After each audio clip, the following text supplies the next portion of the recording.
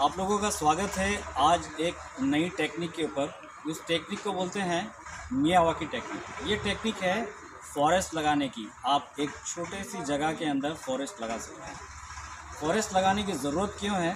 ये आप लोग बाग सभी जानते होंगे, क्योंकि दुनिया भर के अंदर जो मानव जीवन का फेफड़ा है, उसको बोलते हैं फॉरेस्ट। जो लंग्स है, जहाँ से प्योर एयर आती है, वो सिर्फ़ फॉरेस्ट है। वो जितनी तेज़ी से ख़त्म होते जा रहे हैं, उतनी ही स्लो स्पीड से वो बढ़ते भी जा रहे हैं। तो उसको जल्दी से जल्दी ग्रो करने के लिए और जो भी इसके फ़ायदे मिलने वाले हैं, उसको मल्टीपल और मल्टीप्लाई करने के लिए, उसको और ज़्यादा तेज़ी से बढ़ाने के लिए एक ये नई टेक्निक आई है। तो उसके जो एक्सपर्ट हैं, यहाँ पे मैं आपको मिलवाना चाहूँगा, बाबा बलजीत सिंह जी से। वो आपको इस मियावाकी टेक्निक के बारे में बताएँगे। उन्होंने एक मिनिएचर फॉरेस्ट यहाँ पर लगाया हुआ है, जो कि सीविया रोड बठिंडा के पास में है, जिसको आप नेट के ऊपर भी सर्च कर सकते हैं लोकेट कर सकते हैं, और आप कभी भी आके यहाँ पर विज़िट कर सकते हैं। आपको जो भी इसकी जानकारी है, पूरी दी जाएगी। अगर आप इंटरेस्टेड हैं अपने यहाँ पर लगवाने के लिए तो उसके बारे में भी बाबा जी आपको फ्री में कंसल्टेशन देंगे। तो मैं ओवर टू बाबा जी मैं बाबा जी से दरख्वास्त करना चाहूँगा। मैं पूछना चाहूँगा कि बाबा जी इसके अंदर जो जितनी स्पीसीज़ हैं अलग अलग वो कितनी लगी होंगी? थैंक यू स्पीसीज जहाँ बात है तो यहाँ आप कितनी भी लगा सकते हैं जो अवेलेबल होती है। तकरीबन तकरीबन इसमें चालीस से करीब लगी है प्लस ही होगी उससे। सो ज़्यादा भी हो सकती है क्योंकि जिस टाइम हम लोग लगा जंगल लगाते हैं कुछ लोग जितनी हमारे पास अवेलेबल रहती है। और इसमें एक रहता है कि नेटअप रहती है कि इसमें कोई भी हाईब्रिड नहीं होती। हाँ जी जो भी लोकल वराइटीज होती है हमारे वही हम लोग इसमें यूज़ होते हैं क्योंकि ऐसा मानना है एक्सपर्ट का कि जो हाईब्रिड होती है उससे बीमारी लगती है उसको। और इसका क्या रहता है कि इसमें बीमारी बहुत कम आती है।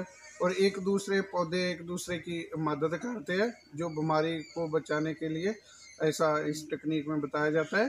सो ये पे भी इस टेक्निक के साथ एक तो बढ़िया होता है कि जड़े जंगल है, हम लोग ये ऐसा मानते हैं कि नौ दस महीने में पूरा जंगल का रूप ले लेता है।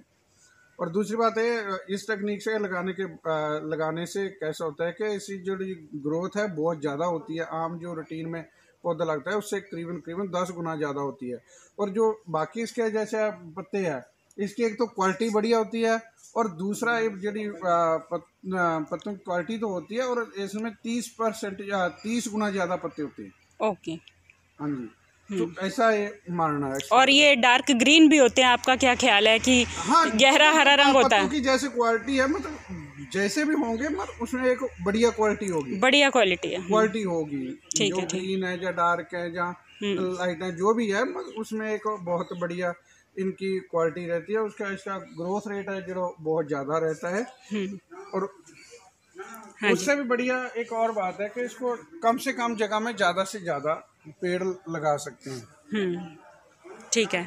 थैंक यू इसके अंदर जो डेंसिटी होती है प्लांटेशन की अगर जो नॉर्मल प्लांटेशन लगता है जैसा कि गवर्नमेंट से लगवाए जाते हैं तो उसके अंदर हम पाँच फीट मिनिमम एक डिस्टेंस रखते हैं। पाँच से दस फीट ज़्यादा पाँच से दस फीट तक का दूरी रखते हैं कि पेड़ों को इतना दूर लगाएँ।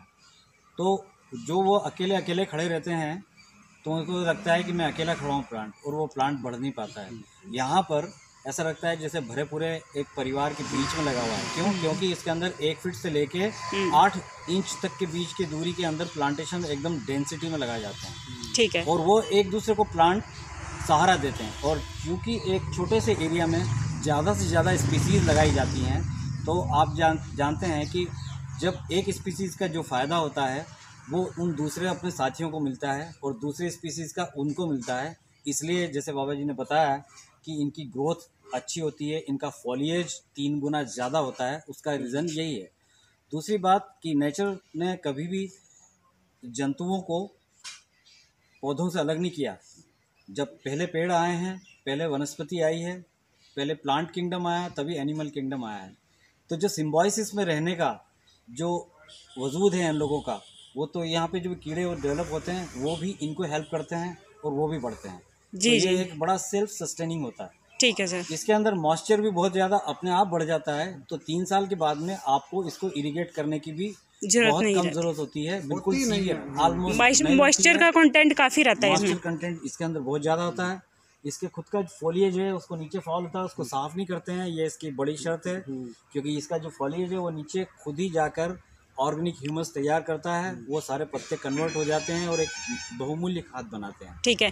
तो व्यास जी आप अपना एक बार पूरा नाम फिर से बताइए। मेरा नाम श्रीधर व्यास है और मैं इन्वायरमेंट का लीगल प्रैक्टिशनर हूँ और पहले मैं एक इंडस्ट्री में लीगल एडवाइज़र था और मैंने करीब 20 इक्कीस साल उसके अंदर काम किया हुआ है।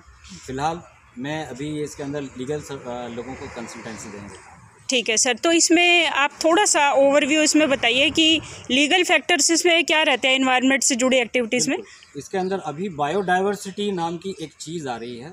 बायोडाइवर्सिटी में ऐसा है कि जो भी उस लोकल एरिया की जो स्पीसीज़ हैं एनिमल किंगडम से भी प्लांट किंगडम से भी दोनों से उसको कैसे सस्टेन किया जाए कैसे उसको बचाया जाए कैसे उनको एक्सटिंक्ट होने से रोका जाए ठीक है। उसके ऊपर रूल्स आ गए हैं। ओके बड़ी बड़ी जो फैक्ट्रीज हैं उन लोगों के ऊपर तो दबाव डाला जा सकता है लेकिन हमारे यहाँ पब्लिक के ऊपर कोई रूल नहीं है। ठीक है। तो पब्लिक के ऊपर हमें क्या करना होगा कि हमारे कोई जैसे संत बाबा बलजीत सिंह जी ने जैसे एक अपना एक इनिशिएटिव लिया है हम्म, ये उसी दिशा में है। जी ये जी। बायो डाइवर्सिटी के लिए एक बहुत बड़ा मंदिर है। मंदिर है। तो इसलिए मैं सबसे अपील करता हूँ और बाबा जी भी अपील करते हैं जो जो भी एक छोटे से एरिया में शुरुआत करना चाहते हैं आप अपनी शादी के ऊपर आप अपने किसी घर के अंदर आ, किसी बुज़ुर्ग के चले जाने की याद में या किसी बच्चों की बर्थडे के ऊपर आप एक अपने फ्री स्पेस के अंदर एक मियावा की प्लांटेशन लगाएँ एक फॉरेस्ट लगाएँ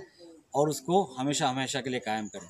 ठीक है। ये श्रीधर व्यास जी आपने ये जो फाइनली मैसेज दिया है सारी सोसाइटी के लिए अ, ये एक बड़ा ही एक्सीलेंट बहुत ही औसम बड़ा शानदार मैसेज दिया है। संत बाबा बलजीत सिंह जी ਤੁਸੀਂ आखिर चुन की मैसेज दोगे? मैसेज तो यही है कि हम लोग अगर ज़िंदा रहना है तो ये ज़रूरी है क्योंकि हमारा तो एक ही स्लोगन है पहले रोक फिर मनोख। जी जी हाँ बिल्कुल ठीक पहले रोक फिर फिर मनोख जे रुख है, प्रकृति है, जितनी भी जहाँ ये कह सको, जितनी भी दृष्टिगोचर सृष्टि